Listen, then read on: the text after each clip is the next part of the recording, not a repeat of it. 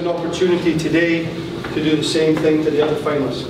Is to beat them in their home patch and take four points off them. Should have been six points if we beat them today. So, but I want you to be brave here. I want you to really uh, go out there on this pitch here today and be brave, individually and collectively.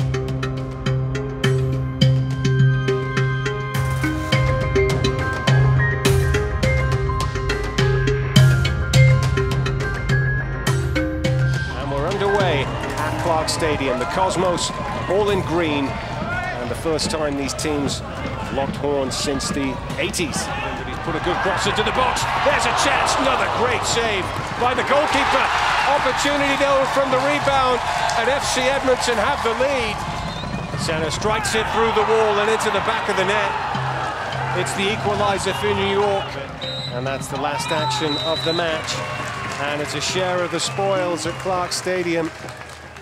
We matched them here. We should have beat them, and they scored only a free kick on us. And I think, well, we have a point to prove when we go there. And We just go in there with the attitude if we were we're going to win. Simple as that. Oh yeah, of course. And we want to go in there and spoil the party. We don't want to be on the field when they're running around, you know, with the championships. It's not just to spoil their party, but also to kind of send a message through the, uh, I guess, the traditional ranks that Edmonton doesn't back down against New York. I've played the spoiler a lot, and it's it's fun to do. So I hope we can continue that. And I mean, we have lots to play for as well. We have our jobs to play for and pride on the line. So uh, it's uh, there's there's motivation from all angles at this point.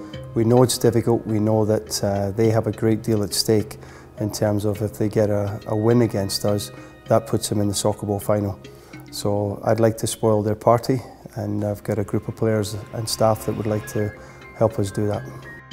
Uh, we have a six o'clock flight in the morning to Toronto, and the guys will be there at four o'clock because now and again people forget passports, they uh, get lost, or they forget other players, which has happened this season already.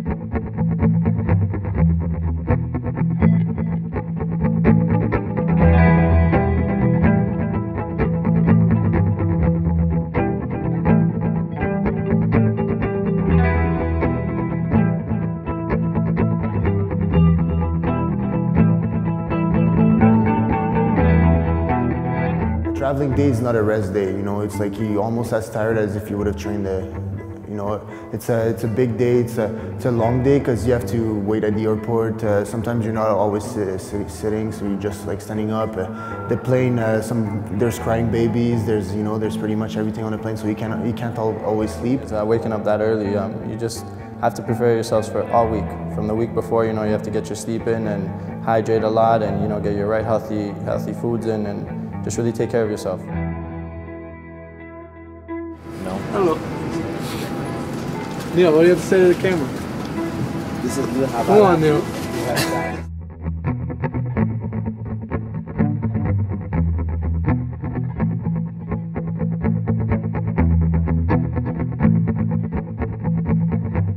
I'm not one to fall asleep on the plane, not because I'm not wired to do it, because I'm usually the biggest guy on the plane and those seats are so uncomfortable. So trying to get a comfortable position is the hardest thing.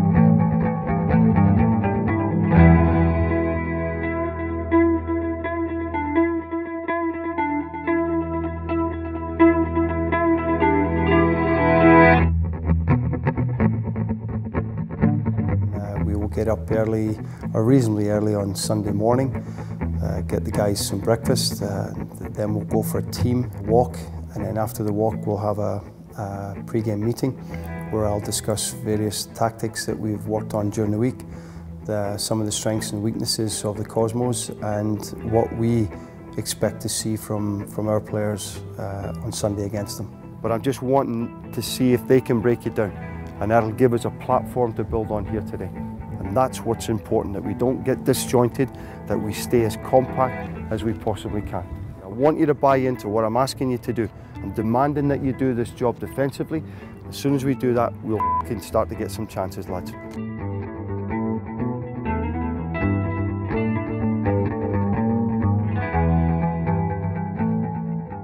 we'll go for a team pre-match meal, uh, which is adamant that everybody attends that. The guys have to get up and get breakfast, but I leave them to their own devices. I'm not a babysitter, and I, they're professional football players.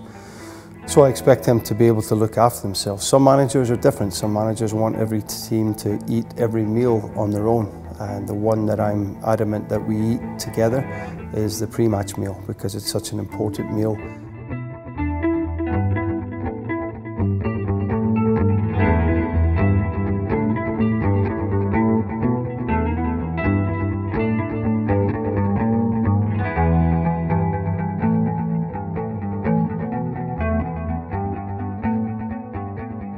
Yeah, my pregame ritual is before I step on that field, I make sure that I'm 100% ready, 100% focused. And then I kind of like walk around the pitch and visualise in my head what I'm going to do during the game. Try and get some mental pictures in my head so that when I do go onto the pitch, um, I, I hopefully know the script that I'm, how I want to play. Well, you just come into the change room, get ready, listen to the manager talk, listen to a bit of music, and out for the warm up, and that's it.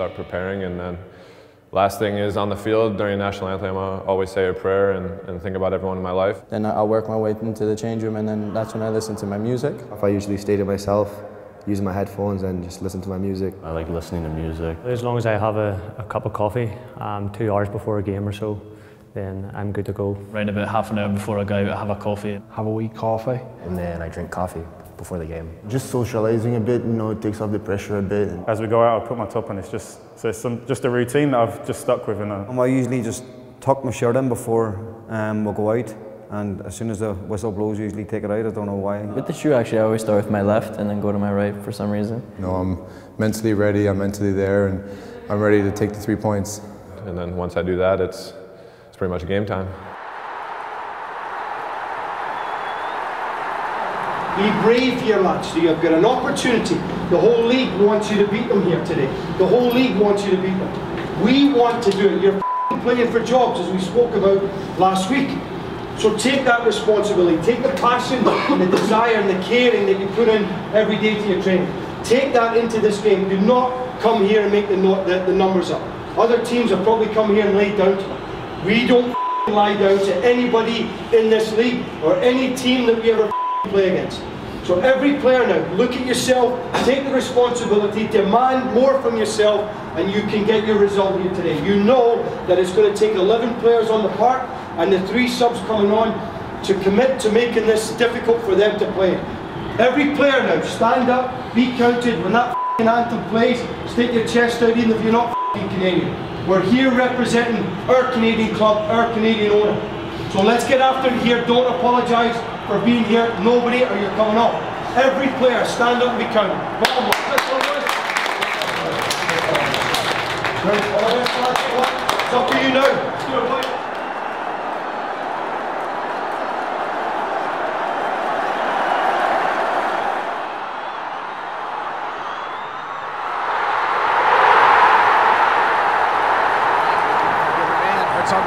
Takes the shot. Saved by Reynish. Rosetta oh, got it from Mendes.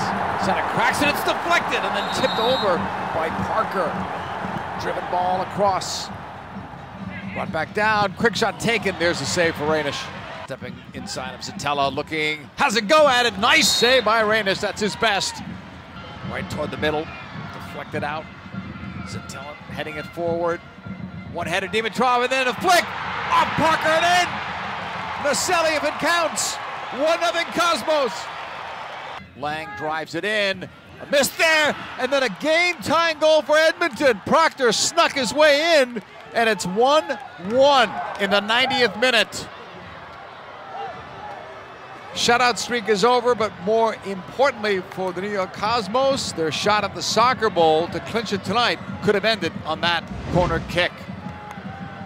On a ball sent across, was pretty active, but it's always dangerous when it bounces like that. Proctor was able to sneak through. Lang taking it. There's the bounce. Cosmos had enough guys in white there to cover it. And Proctor just sneaks his way through to get his first goal of the season.